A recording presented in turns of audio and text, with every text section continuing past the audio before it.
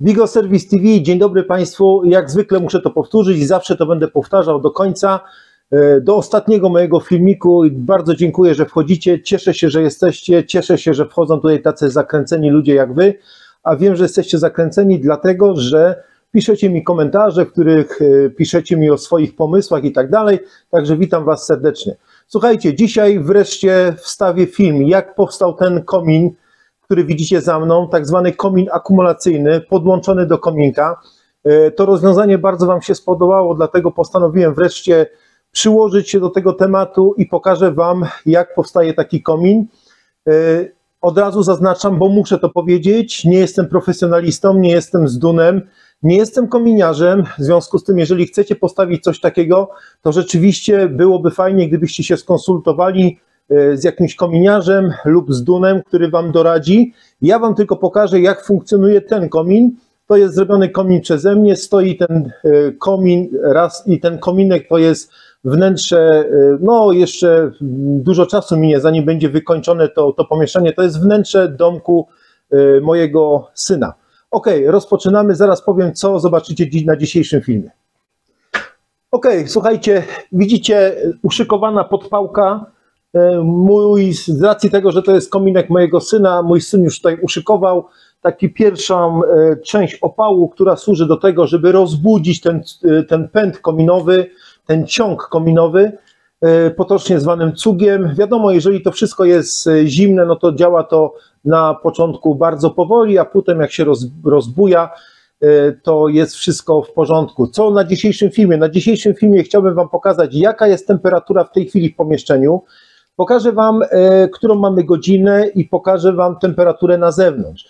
Następnie po rozpalaniu, po rozpaleniu tego kominka, jak to wszystko zacznie już funkcjonować i tutaj się ładnie palić, o tam mój syn właśnie widoczny jest e, w oknie, e, coś tutaj sobie robi, tutaj przed nim jeszcze kupa roboty, ale ja się cieszę, bo robi to w własnym zakresie, jest samodzielny, dlatego super doceniam to, jego starania, jego zaangażowanie tutaj, to jest dla, dla ojca zawsze e, budujące. Dobrze, słuchajcie, czyli tak, pokażę Wam temperaturę na zewnątrz, temperaturę w pomieszczeniu. Aha, dodam jeszcze, że byliśmy tutaj ostatni raz 4 dni temu, czyli przez 4 dni ten dom był w ogóle nie ogrzewany. Czyli temperaturę na, powtarzam się, przepraszam, temperaturę na zewnątrz, temperaturę w środku, pokażę Wam godzinę i następnie zjawię się tutaj za 3-4 godziny.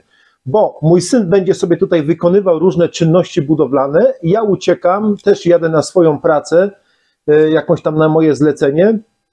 E, Będę łapał dzisiaj kunę, e, dlatego niedługo może pokaże się film, jeżeli wszystko pójdzie dobrze, ale to już inny temat. Dobra, i potem po 3-4 godzinach przyjadę i pokażę Wam znów temperaturę na zewnątrz, temperaturę w pomieszczeniu i temperaturę tego komina, jak się przez 4 godziny nagrzał.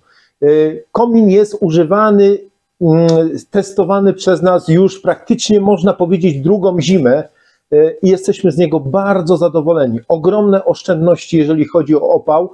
Po wygaszeniu kominka e, komin oddaje ciepło jeszcze do następnego dnia, także jest to podobna zasada jak piece kaflowe. E, Wielu z Was mówi, to czemu od razu nie zbudowałeś sobie pieca kaflowego?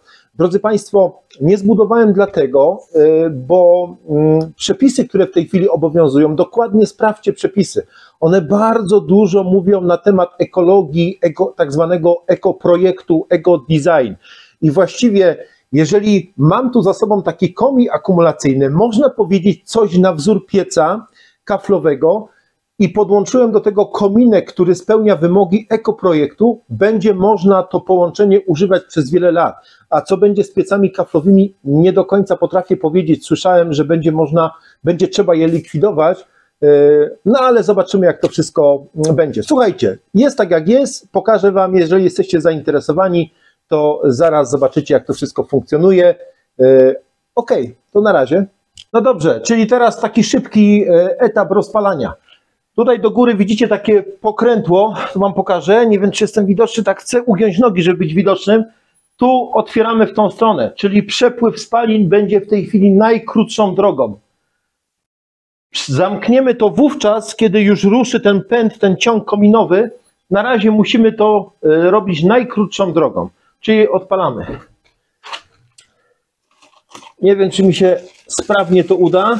Bo wiecie jak to jest, każdy jest ekspertem swojego kominka, ale miejmy nadzieję, wszystko jest potwierane, tu jest zrobione, dobra.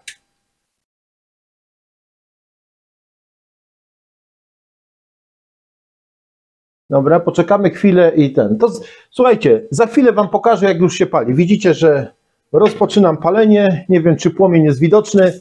Jest widoczny. Zamykam i jak już rozrusza się troszeczkę, to Wam pokażę, że jest moment startu. No bo teraz na razie to jest taki moment rozpalania. Dobra, czyli pokazuję. Wajcha jest przekręcona w tą stronę, czyli spaliny idą najkrótszą drogą. W momencie, jak to zamknę, jak już komin y, ruszy ten c- ciąg kominowy, to spaliny będą zakręcały i szły do góry i będą nagrzewać cały ten komin. Ale na razie nie. Teraz tu Wam pokażę. Ładnie ruszyło, ładnie się pali. Nie jest w ogóle w żaden sposób zakłócony ten ciąg. Wszystko gra. Początek odpalania. I teraz można powiedzieć, że startujemy. Druga 50, 12,9 stopnia w pomieszczeniu, 1,2 na zewnątrz. Ja uciekam na 3 godzinki. Uciekam na 3 godzinki, za 3 godzinki tutaj się zjawię i pokażę Wam, jak się nagrzewa cały komin. Bo na razie nie mówimy tutaj o w ogóle żadnej temperaturze, bo na razie to jest zimne a rura spalinowa już idzie do góry, ale to jest na razie żadna temperatura. To widzimy się za chwilkę. Na razie. Aha, jeszcze o jednej rzeczy muszę powiedzieć. A, ładnie się pali. Super. O jednej rzeczy muszę po powiedzieć, bo wielu, bardzo wielu z Was mówi, co za głupota, dlaczego zamontowałeś tutaj te miejsca, gdzie trzeba czyścić spaliny i tak dalej, y, sadze.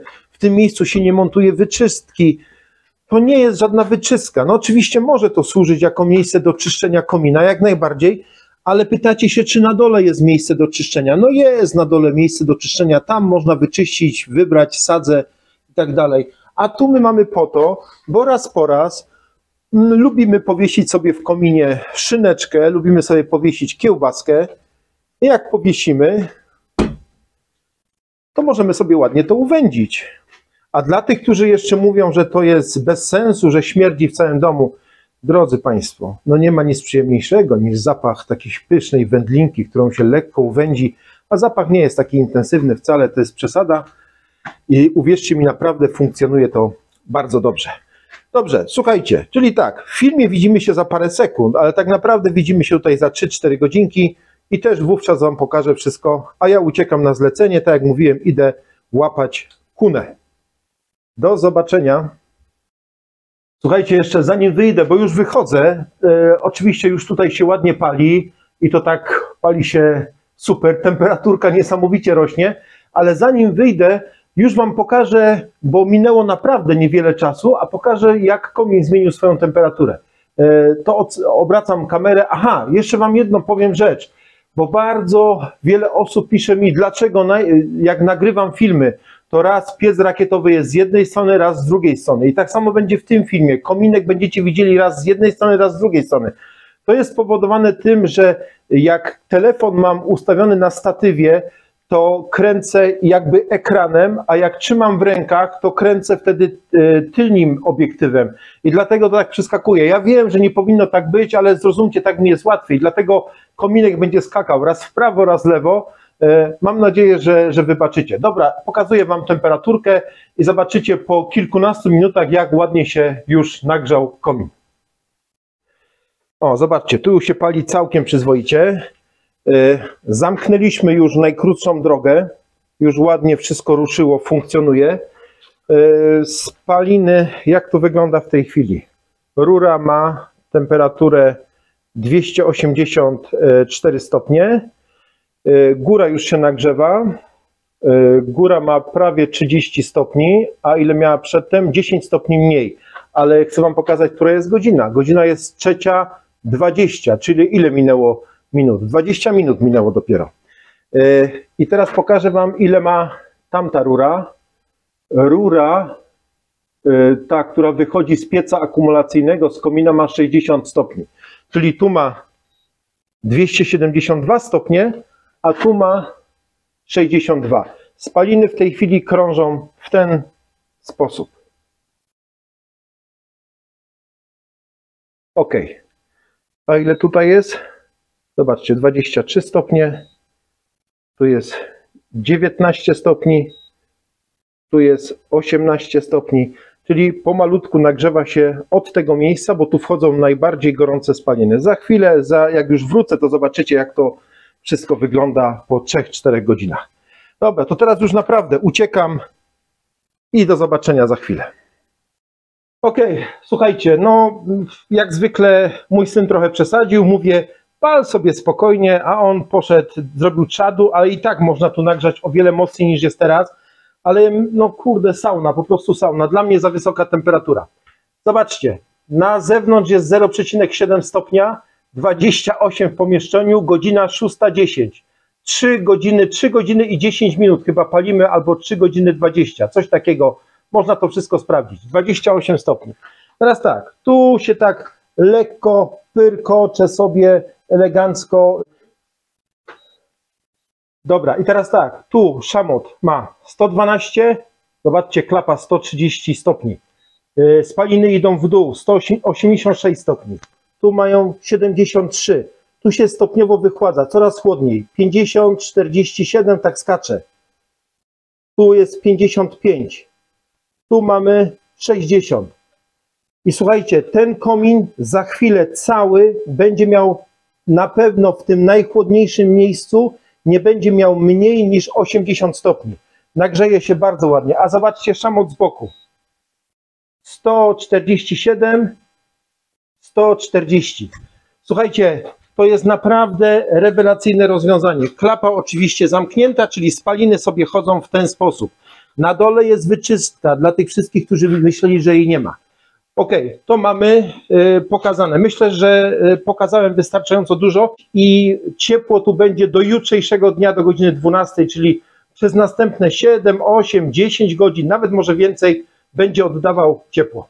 Okej, nie da się tu wysiedzieć. Po prostu on teraz tam sobie siedzi, wy go nie widzicie i się śmieje ze mnie, bo on wie, że mój syn oczywiście wie, że takiej temperatury nie lubię. Słuchajcie, nie obyło się bez błędów, jak budowaliśmy ten piec, o błędach, jakie popełniłem, ale na pewno te błędy zauważycie i na pewno mi je wskażecie, więc nie będę teraz o nich mówił, ale w następnym filmie się wypowiem.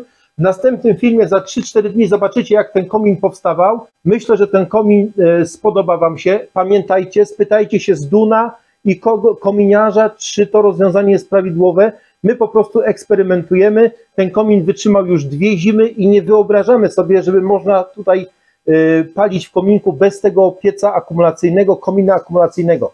Pozdrawiam Was serdecznie, nie chcę przedłużać. Y, Zapraszam na następny film. Y, Wyraźcie w komentarzach, czy Wam się to rozwiązanie podobało, czy nie. Ja uważam, że jest po prostu super, ale trzeba się skonsultować z fachowcem. Cześć, Wigo Serwis Poznań, pozdrawiam Was. W następnym odcinku, dlaczego tutaj pęka, to powiem w następnym odcinku. Musicie być cierpliwi 2-3 dni. Ja pierniczę, Adam, ja tego nie nagram. Co żeś tu zrobił? To jest kurde sauna, daj, daj mi coś. Ja pierniczę, człowieku. Przecież ten kominek i ten komin akumulacyjny to jest lepsze niż 100 paneli fotowoltaicznych. Słuchajcie, co ja z nim mam? Tragedia.